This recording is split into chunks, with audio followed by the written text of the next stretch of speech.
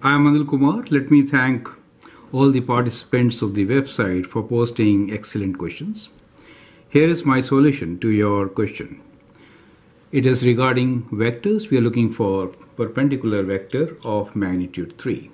The question is, how can I find a vector whose magnitude is 3 and which is perpendicular to each vector a 3i plus j minus 4k and vector b equals to 6i plus 5j minus 2k. So basically, let's say we are given two vectors, a and b.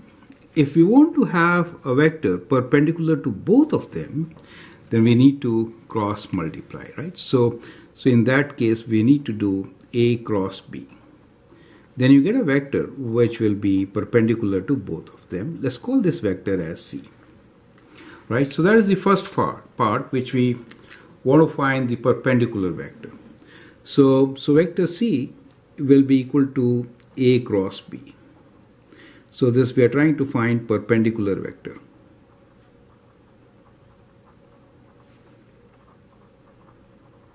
So, so when you cross multiply, you get 3i plus j minus 4k cross 6i plus 5j minus 2k, right? Now i, j, k are the unit vectors, correct? So, so I prefer to write them in the form of a matrix. It becomes easier.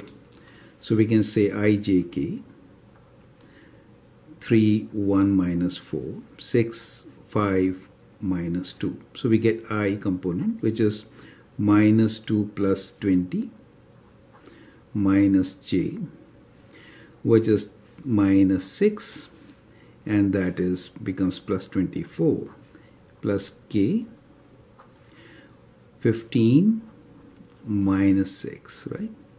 Okay. So this I could write as 18i and this is minus 18j and that is 9k we could also write this as just dividing all by 9 we get 2i minus 2j plus k. Right? So that becomes the vector. Now the second part to this is that we want magnitude of 3.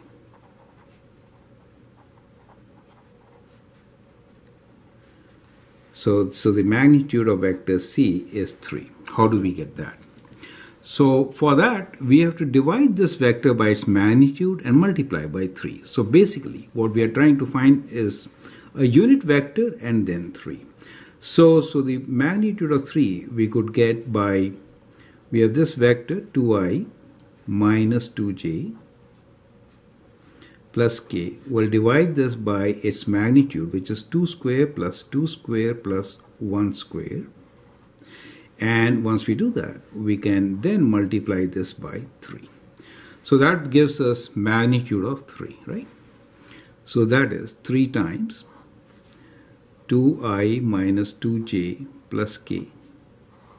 So this is 2 square 4, 4, 8 and 1, 9. So that is 3, right? So there's 3 and 3 cancel. So actually, the vector which we got has a magnitude of 3, right? So this vector has a magnitude of 3. So we get our answer as 2i minus 2j plus k, correct? So that becomes our answer. So I could have just checked the magnitude of what we got. So this is our answer. Is that clear? So that is how we can actually solve it. Thanks and all the best.